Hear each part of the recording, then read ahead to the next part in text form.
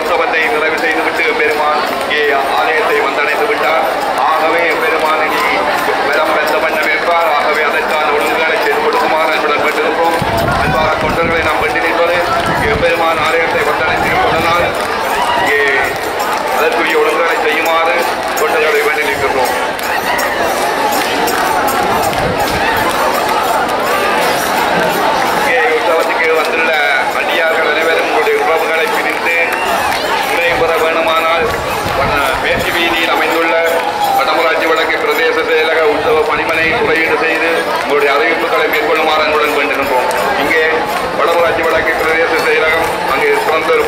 செய்து கொண்டிருக்கின்றார்கள் ஆகவே உங்கள் உறவுகளை சந்திக்க மாயின்